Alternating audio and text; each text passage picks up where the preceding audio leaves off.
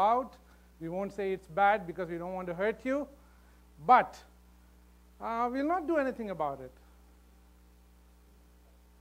You thought I'm going to let you just get away with it. I'm going to ask three questions. Three questions, and if you give the right answer, I'm going to throw you a gift. Free gift. First question When you drove into the parking lot of Metuchen Assembly of God, there's a signboard. And what does that signboard say? Anyone? First, hands up. Yes, Sister Cindy, out of over 100 people, one person. Yes.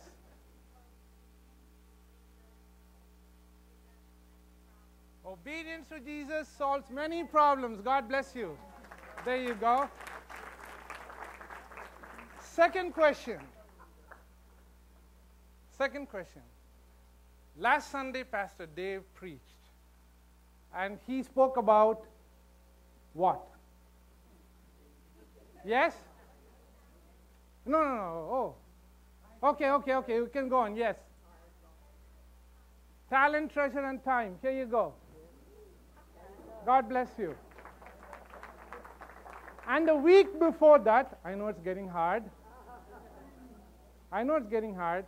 The week before that, I preached Parable of the Sower, but that's not the question. Good answer.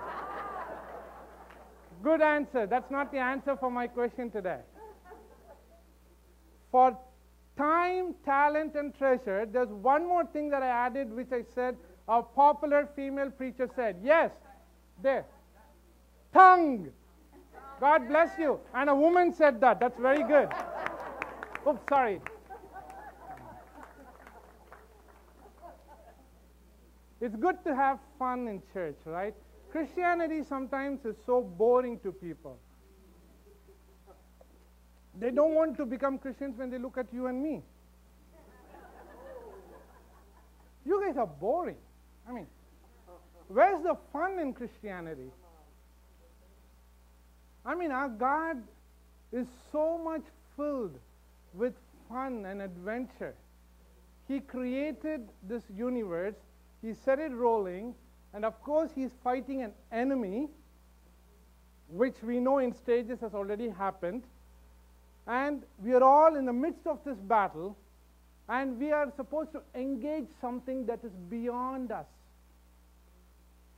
So, in order to get you back to the stage where I want to move with the message this morning, is I spoke about the parable of the sower, the parable of the soils, as I called it, and it's found in three texts Matthew chapter 13, Mark chapter 4, and Luke chapter 8. And the doctor, Luke chapter 8, the doctor Luke who wrote that, he gives us a kind of a heart checkup. So, what does he do? When we do a heart checkup, the four different types of people or the soils you find. So, when I say heart and the soil, when we say heart, it means the innermost person.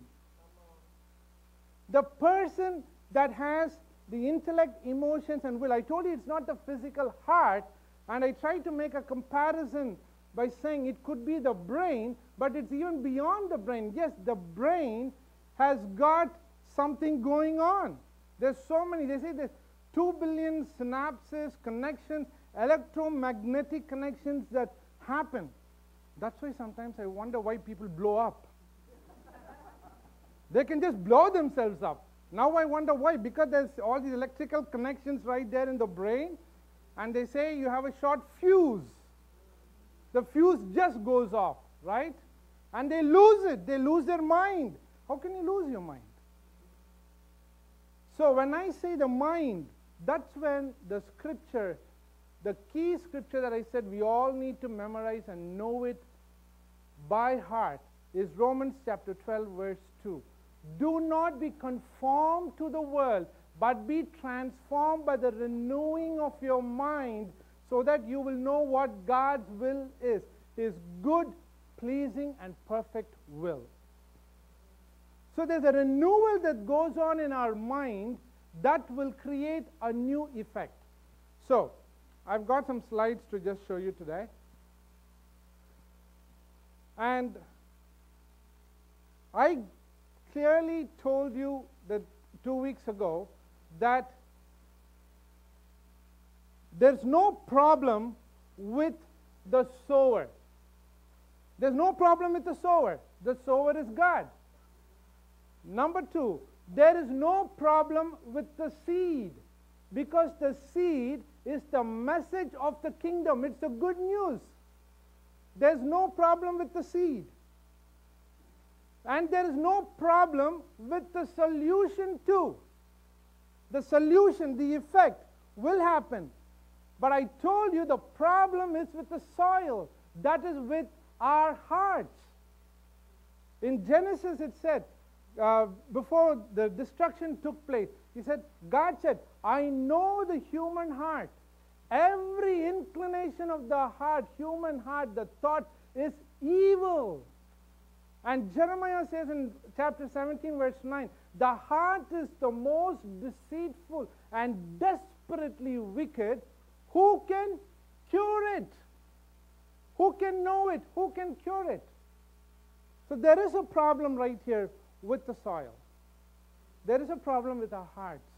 So that's why I took you through that journey to show you that there are four types of people, groups that you can find.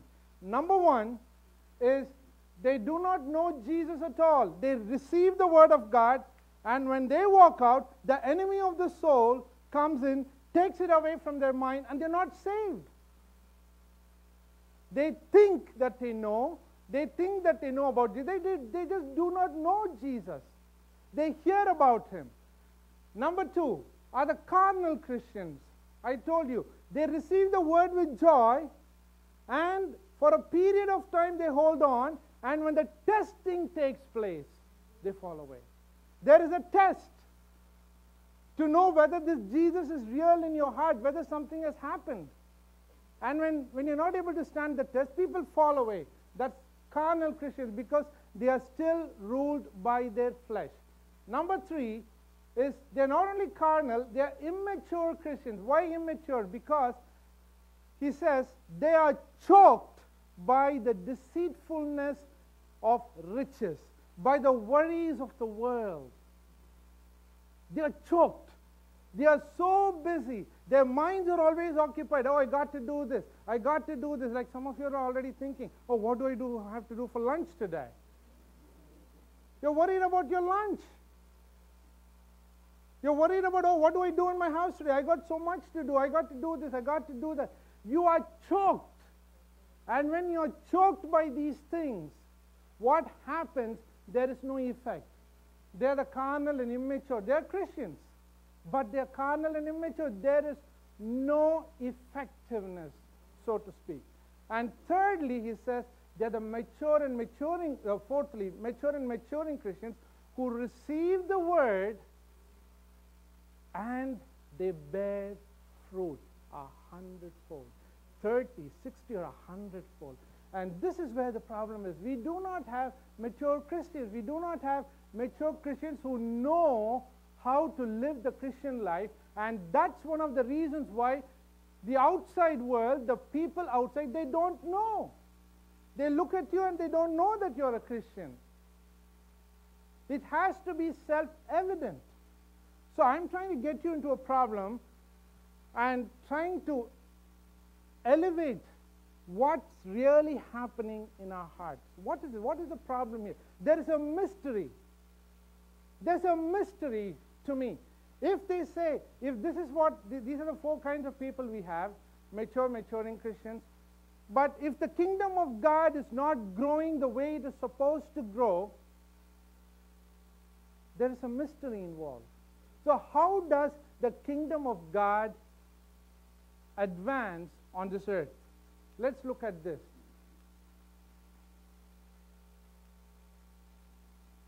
The next slide, please. The mystery of kingdom growth. And the text that I have for that is Mark chapter 4. And as I told you, Jesus spoke in parables. The word parable means placing alongside, meaning in comparison, he tells you, this is how it is. He literally spoke in parables. A theologian calls Jesus a metaphorical theologian. He literally spoke only in parables. Mostly, you look at the text, it's always in stories. He was just telling stories to people to try to get them understand. And this was one such story. And this is the mystery of the kingdom growth. And what does it say? This is what the kingdom of God is like. A man scatters seed on the ground. Night and day, whether he sleeps or gets up, the seed sprouts and grows, though he does not know how. The seed just grows. It has to happen. But it's not happening. The mystery of kingdom growth. All by itself, the soil, your heart, will produce the grain. First the stalk, then the head, then the full kernel in the head. As soon as the grain is ripe, he puts the sickle to it because the harvest has come. He is expecting something. From the soil of our hearts, when things happen, when the seed, the word of God penetrates deeply into your heart and mind, it will produce fruit. It has to. The mystery of kingdom growth, whether you sleep or get up, whatever you do, it doesn't matter. As long as the seed grows, seed goes in, the word of God penetrates deeply inside of you, the effectiveness will be there. There will be effectiveness. Then we all say, Yes, I've read the Bible. Yes, I'm doing this. I'm going to church. I'm, I'm doing everything what I can do. But is there effectiveness in our lives?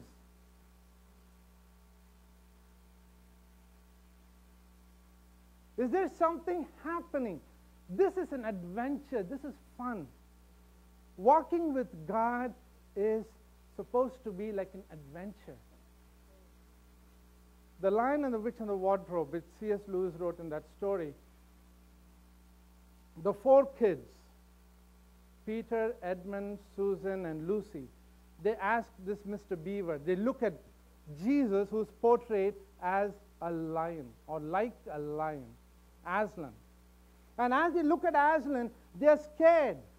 And these four kids are staying outside and watching. And Mr. Beaver says, Safe?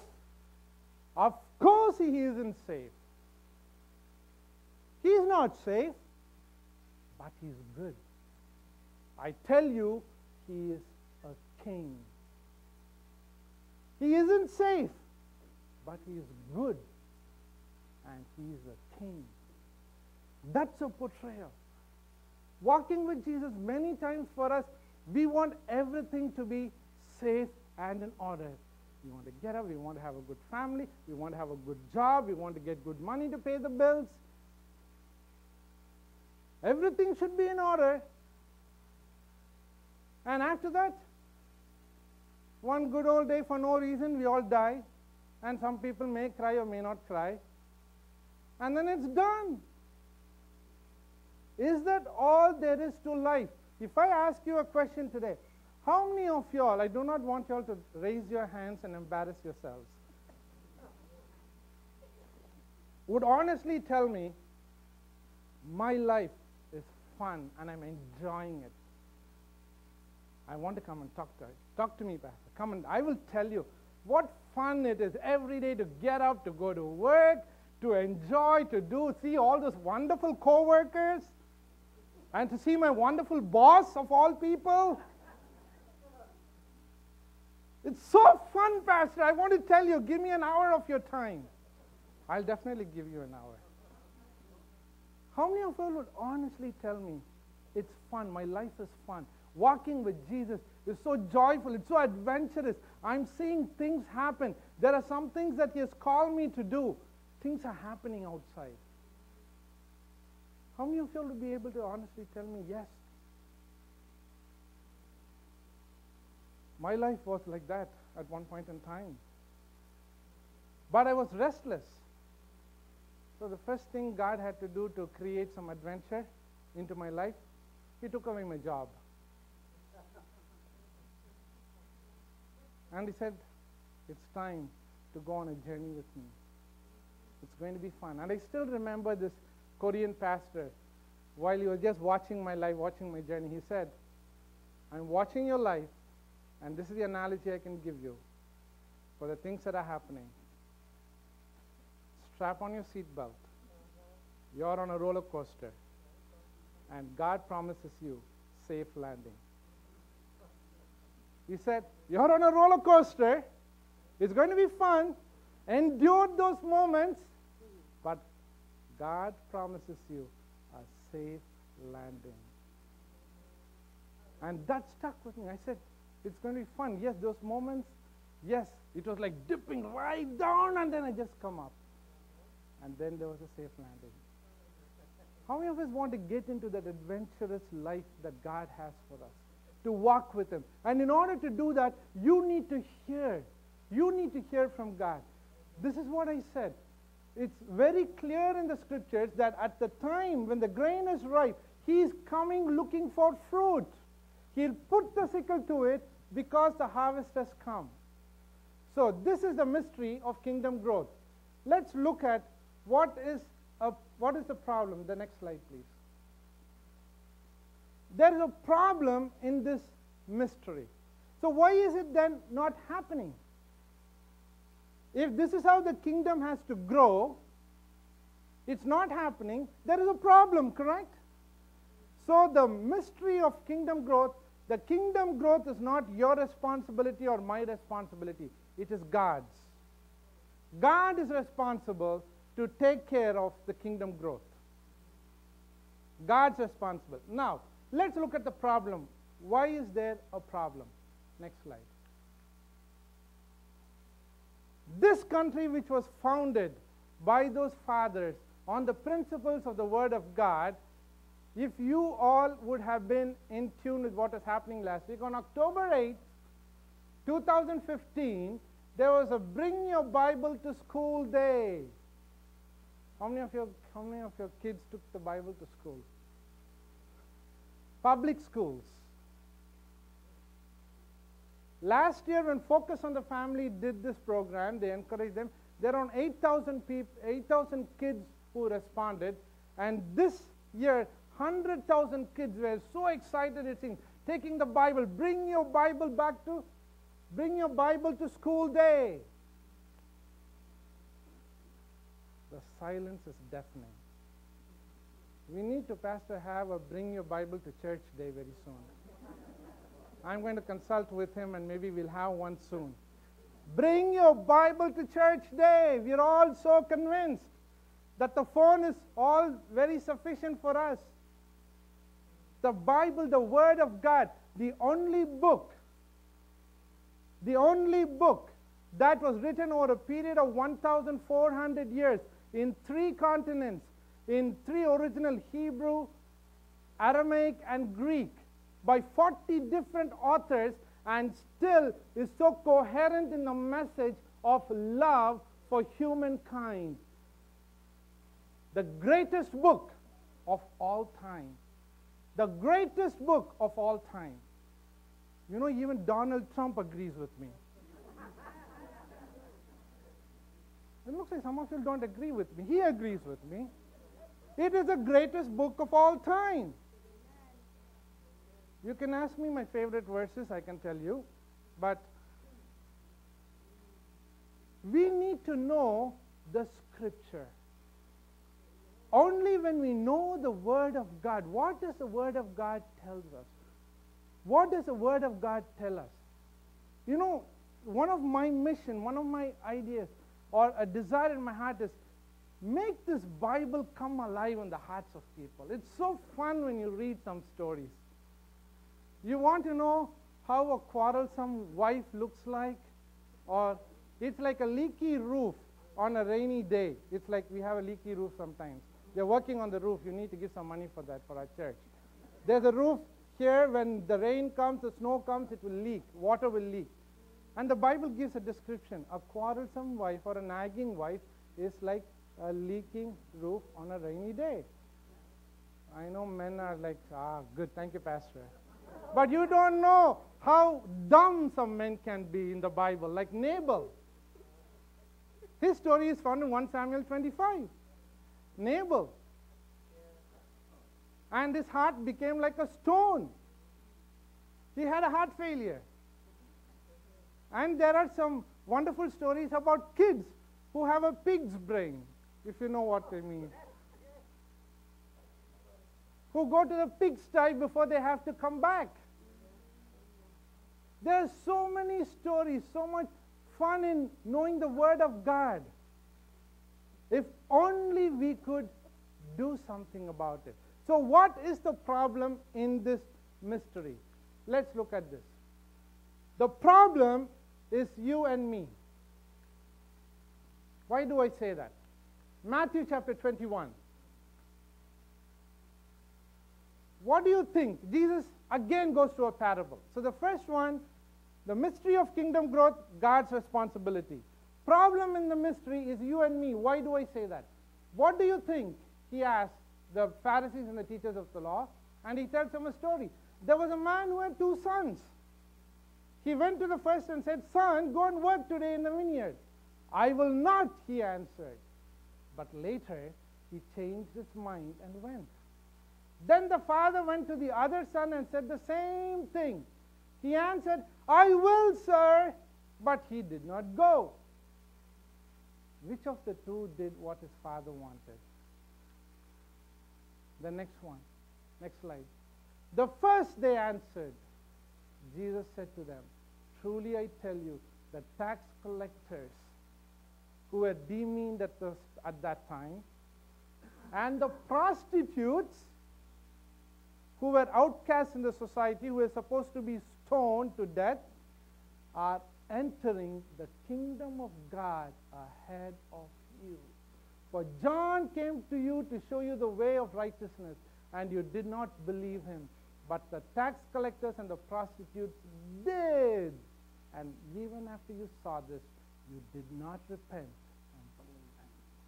I believe very strongly, very firmly, this captures for me the problem in Christianity. This captures for me the problem in Christianity, in our faith. You know, many of us, many of us are in this category, most of the Christians. Then the father went to the other son and said the same thing. He answered, I will. How many of us, when we stood up last week or the previous week, we said, Yes, Lord, I will. Oh, Lord, I give you my heart. I give you my soul. I live for the iPhone alone.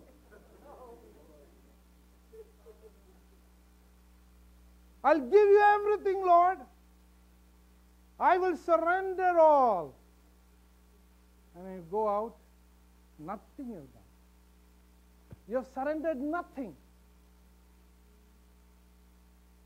There is a problem. But this guy, he said, I will not. And what did he do? He changed his mind and went. I'm going to spin this around and makes it, make it an upside down uh, message, so to me, because even in Christ's uh, view of the kingdom, it's always an upside down kingdom. We need people who will say, I will not, and go out and say, I will do it. Because it's become a routine in churches. People say, Yes, I want to do this. You feel so good about it when you hear it, and then there's no action. I wish there are more people today who will now say, Pastor, what you're saying, what the Word of God says, is difficult. I will not do it. And then you go out, and during the week, when the Spirit of God reminds you, you get into the Word of God, and you say, I'm going to do this. You will be blessed. You are the blessed one. You are the blessed one. You are the blessed one. There's a problem in the mystery. There is a problem. And the problem is you and me. We are the problem. As I told you, when you come into God's kingdom, it's an upside down kingdom. So you think everything should be perfect, normal. No. Once you walk into His way, It's going to be adventurous, so to speak. You will face injustice. You will have to look at some people or be in relationship with your family members who rub you on the wrong side. It's going to take something out of you. You got to forgive, you got to endure. There is no other way out. People will call you a devil because they call Jesus Beelzebub. You do not want Jesus to call you a devil. You want other people to think that you are a Satan or a devil, but not Jesus. Because Jesus looked at Peter and said, You're a devil, get thee behind me. You do not have in mind the things of God, but the things of men. How many of us will get into that category where Jesus would tell us today, you do not have in mind the things of God, the things of the kingdom. You have in mind the things of men, the world. How many of us will receive that? How many of us will have to take that word? And Jesus, literally, the one on whom he built the church, Peter, he told him, Get thee behind me, Satan. He didn't mince any words. He did not mince any words. He was direct. We need to check, examine our hearts today. Will you say no and do it? Will you say no and do it? I would like to see more Christians who would say no, but go and do the work of God's kingdom. An upside down kingdom. There's a problem in this mystery. Thirdly and finally, how to solve this problem, solving the mystery. We need to solve the mystery. And here, as I said, the first, the mystery of the kingdom growth is completely God's responsibility. The problem in the mystery is you and me. Solving the mystery requires God and us. We got to cooperate with Him. We need to work with You cannot do it on your own. You will not be able to do it on your own. How do we solve the mystery? You can solve the mystery with God, with His help. Because it is said, Romans 8:11, if the Spirit of God that raised Christ Jesus from the dead lives inside of you, this scripture should catch you. The Spirit of the living God indwells you. He will also give life to your mortal bodies. That means He will help you to do impossible things. Impossible things. Because God is a God who specializes in the impossibilities of man. Because He said, with man, it's impossible. But with God, all things are possible.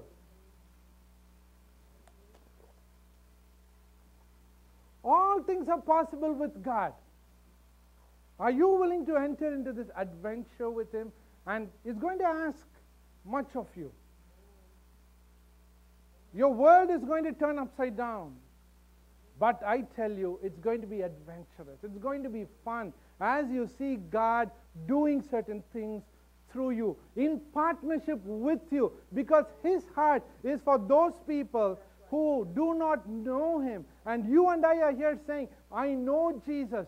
How do you reflect His glory? How do you reflect His splendor to Him, to the people who need to see Jesus? Because they are also created in the image of God. And God's heart is for the lost. What are the things? I'm going to use Kyle Idleman. He's the author of a book called Not a Fan, and he's written another book which is called The Aha Moment. And these are the three principles he gives us awakening, honesty, and action. This is how we do it.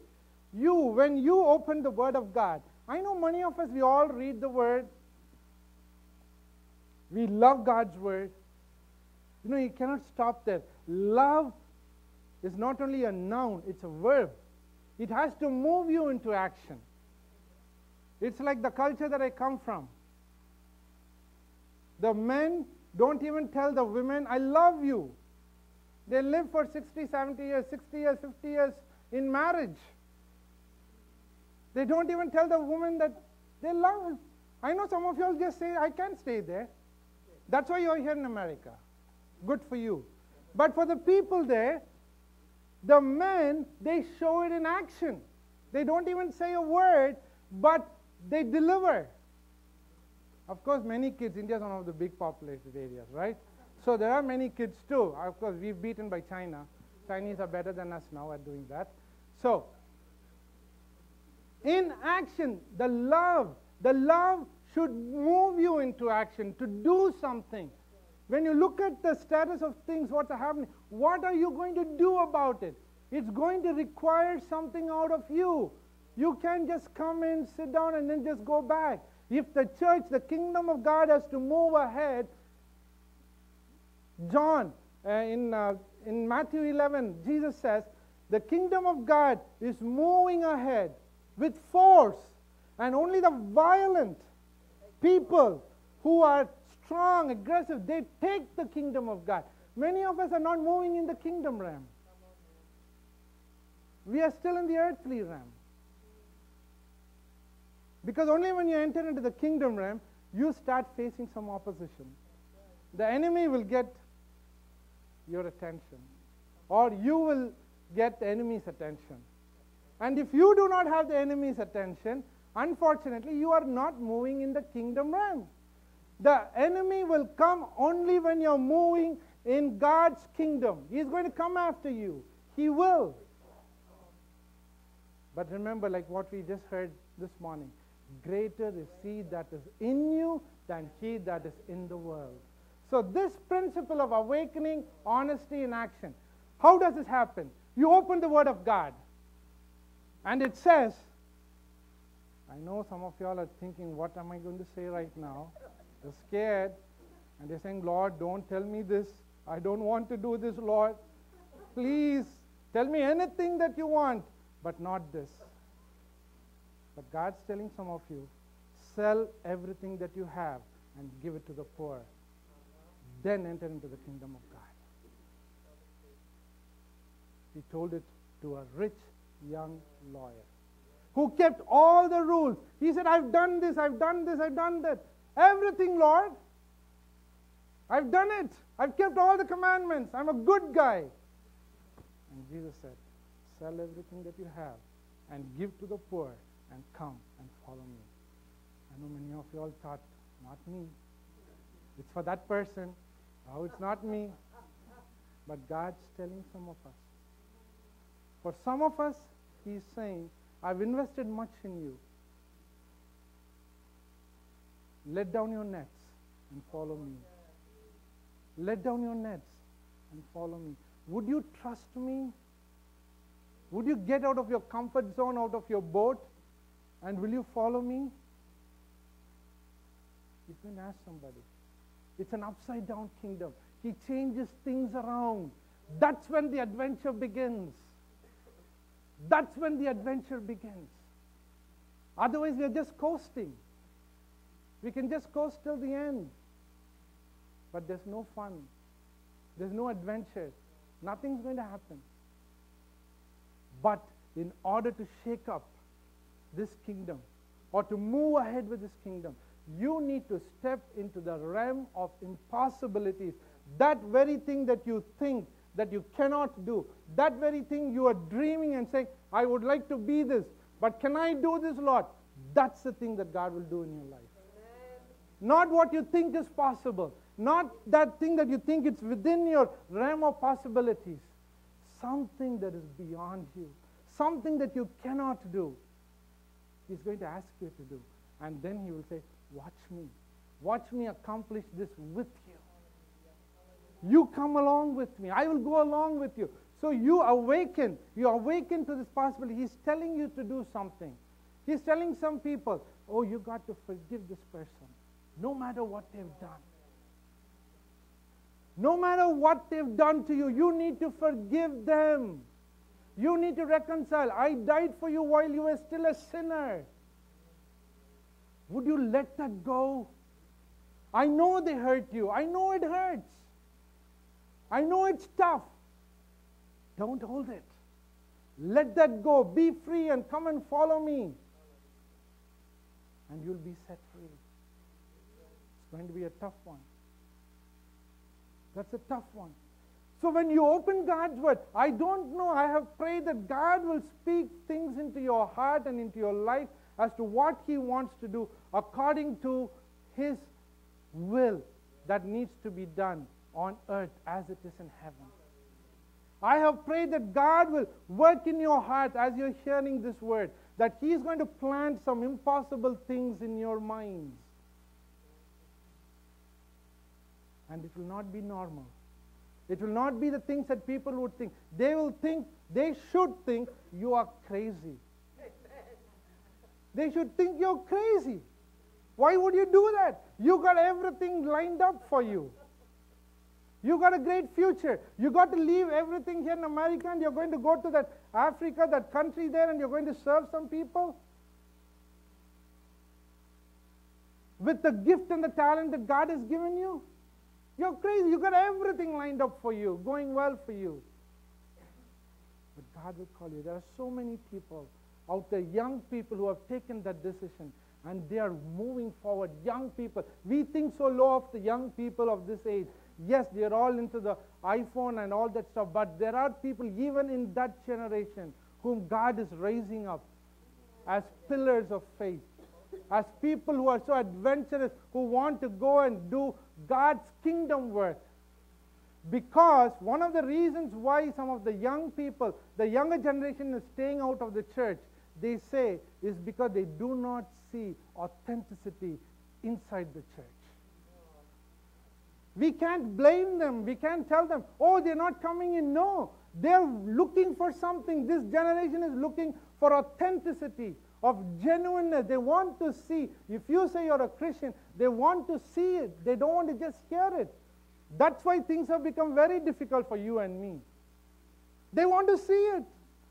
They can see it right through. And many young people have been disappointed, and that is why they remain outside the walls and they're not inside here. We need to take it. We need to share a part of the blame. You awaken when God speaks. You awaken. He said, Aha, yes, I know it. Second step, honesty. Honestly acknowledge, yes, Lord, it's tough for me to forgive. It's tough for me to let go, but you are telling me to let this go. I will. What are the next steps? Take action. Pick up that phone and call. I'm going to share a testimony of one of our uh, sisters in this church who, I think a couple of months ago, she listened to the message and she went back home and she was seated. And this one particular person owed her a lot of money. So, what she did, she took out a letter uh, paper and she wrote a letter, a scathing letter saying, How can you do this to me? It's time that you give me back this money. I need this. You can't just keep delaying, protracting this for so long. It is mine. You need to give it back to me. She wrote a letter. That Sunday night. Monday morning, she got up. The Spirit of God spoke to her and said, No, that's not the way you do it. I need you to tear up that letter. She responded. The next day, or I do not know whether it's the same day, or the next day, she went to the mailbox. She picked up a letter from that lady who had put part of the money that was due to her, saying, I'm going through some difficult circumstances, but here is a part of that money that I owe you. If she had missed God's voice at that moment, just imagine what could have happened.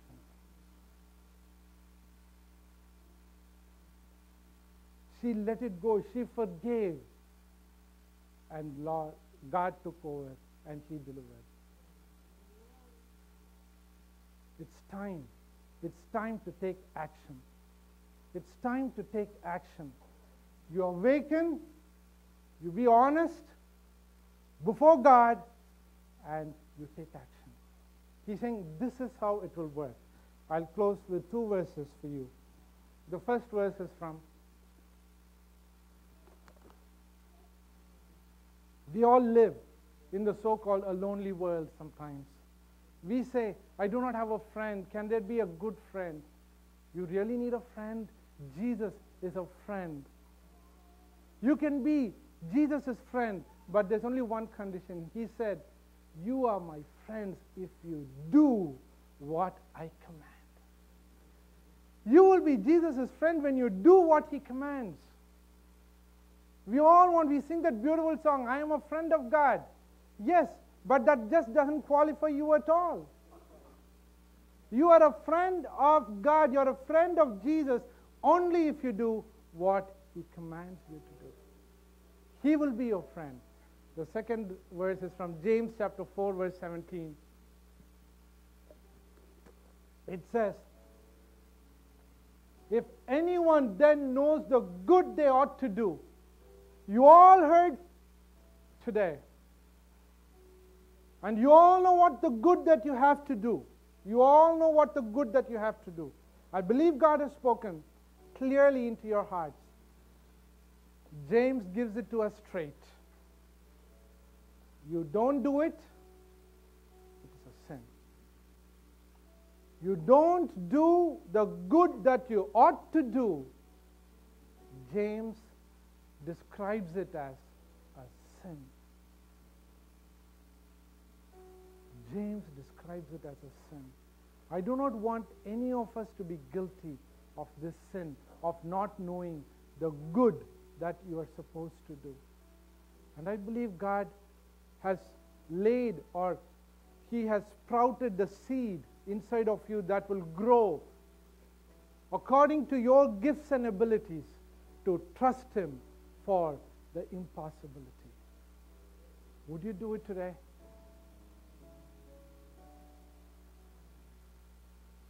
Would you do it today? Remember, the great I am is with you. The great I am is with you. Say no, but do it. Say no, but do it. Say no, but do it. Be like that son who did what God wanted him to do and become a friend. Would you stand and sing that wonderful song again? The great I am, because He is with you and He will go with you, enable you to do what you have to do.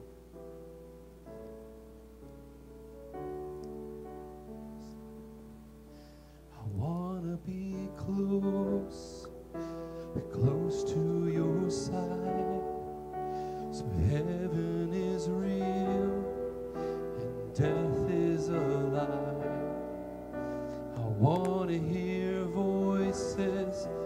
of angels above.